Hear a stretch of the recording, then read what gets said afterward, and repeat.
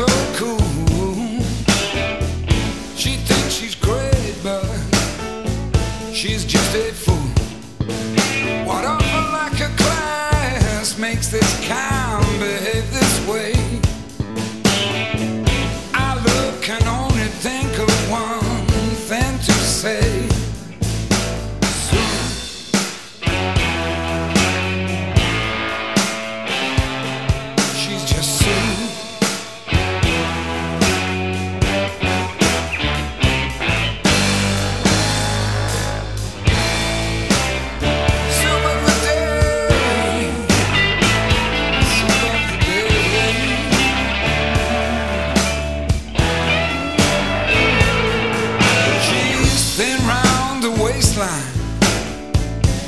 Round the brain.